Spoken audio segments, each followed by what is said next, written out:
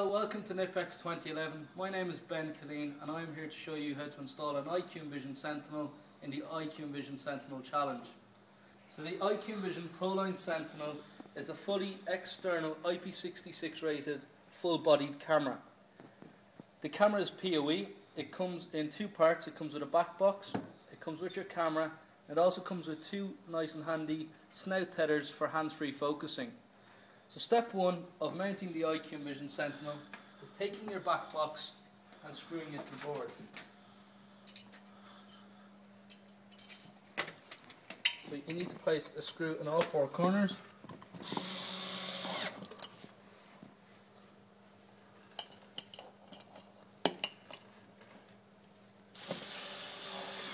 Second one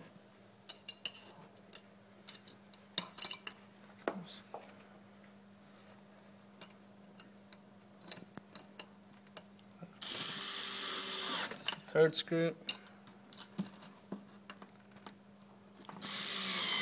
and your fourth screw. Second part is place your Ethernet cable through your glanded hole and placing the Ethernet in. Step 2 of the IQinVision Sentinel camera. Change your bit, take up your IQinVision camera, place it on the handy hinge hooks it leaves you hands free for while working. You then place your Ethernet in. You can place your power and I/O in, and that's that done.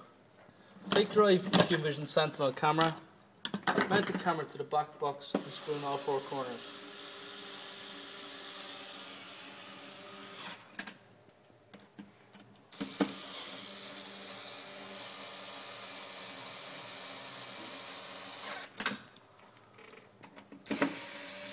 Third one. And your fourth one.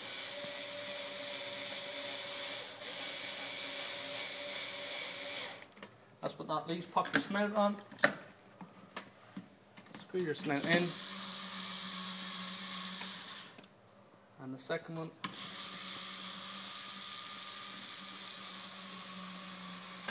And that's your camera mounted on in a couple of minutes. Step 3 of the Sentinel challenge is come to your laptop and open up the Milestone XProtect Smart Client.